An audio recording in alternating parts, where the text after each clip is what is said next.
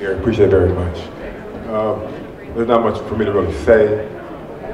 You know, this, the one thing I want to say is that, you know, people, these sports writers that I've been talking to, they all ask me the same question.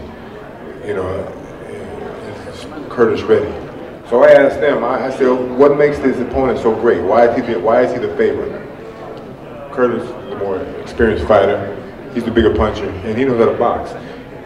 This camp that I've had, it's our first fight together, he's listening. Everything that, I, that I, I'm trying to get out of him, and he's done it the way it's supposed to be done.